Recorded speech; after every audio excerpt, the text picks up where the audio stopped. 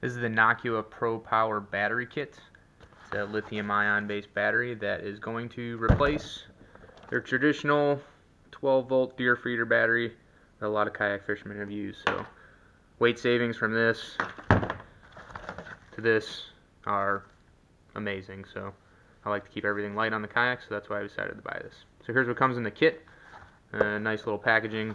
You've obviously got the battery pack uh, the battery is inside this. It just velcros inside here.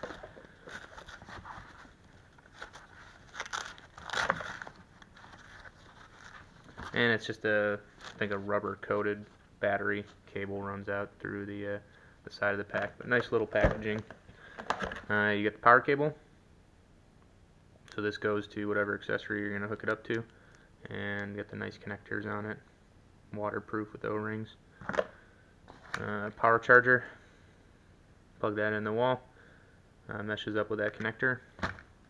Even give you some marine grade uh, heat shrink tubing. That's awesome. And the butt connectors are included to uh, splice this guy in. So that's great. Usually don't get that with a lot of stuff. So let's get this thing installed. Alright so first things first locate your uh, power wires to your fish finder or whatever device you're going to hook this up to so I've got the Garmin 73 side view.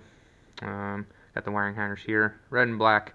I strip both ends and ready to connect to the butt connectors. Uh, the power wire from the Nocqua battery, strip both those ends, and then just make sure you put your heat shrink tubing on the uh, cable so that you can slide it over your connections when done.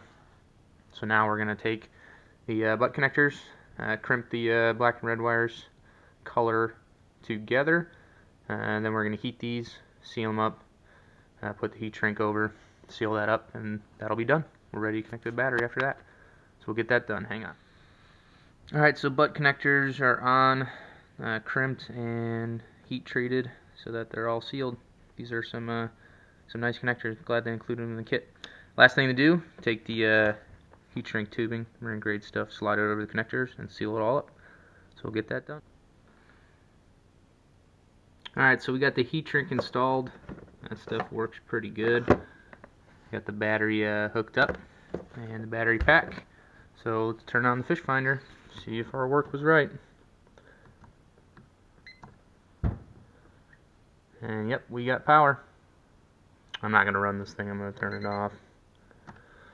But we know that works, so I'm going to tuck all my wires down inside. My power pack's going to go with it and I got a nice little spot.